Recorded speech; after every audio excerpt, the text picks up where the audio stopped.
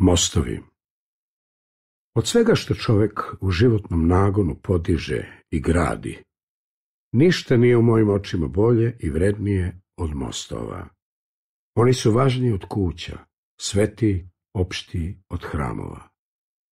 Svači i prema svakom jednaki, korišni, podignuti uvek smisleno, na mestu na kom se ukrštava najveći broj ljudskih potreba, istrajniji su od drugih građevina i ne služe ničem što je tajno ili zlo. Veliki kameni mostovi, svedoci iščezlih epoha, kada se drugojačije živelo, mislilo i gradilo, sivi ili zarudeli od vetra i kiše, često okrzani na oštro rezanim ćoškovima, a u njihovim sastavcima i neprimetnim pukotinama raste tanka trava ili se gnezde ptice. Tanki železni mostovi, zategnuti od jedne obale do druge kao žice, što drhte i zvuče od svakog voza koji projuri. Oni, kao da još čekaju svoj posljednji oblik i svoje savršenstvo, a lepota njihovih linija otkriće se potpuno očima naših unuka. Drveni mostovi na ulasku u bosanske varošice, čije izglodane grede poigravaju zveče pod kopitama seoskih konja kao daščice ksilofona.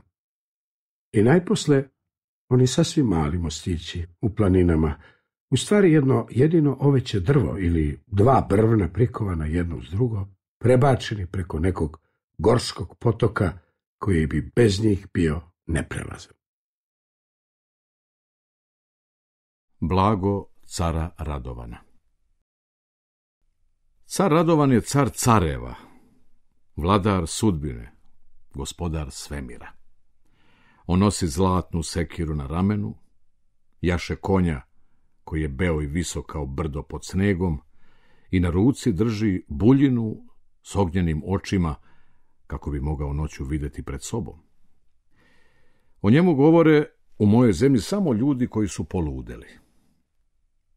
Ali su zatim u njega poverovali i svi mudraci. Car Radovan ima krun od hartije i po plaštu ludačke praporce. Ima noge i ruke zelene kao trava, jer živi na kopnu i u vodi.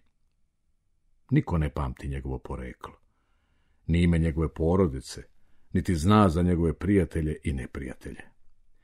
On prolazi kroz nebeski prostor kao crni oblak pun grmljavine i po vodama kao brod koji gori. Niko ne zna njegove bitke ni triumfe, jer njegova moć nije nad vojskama, ni njegova slava u bojnim podvizima.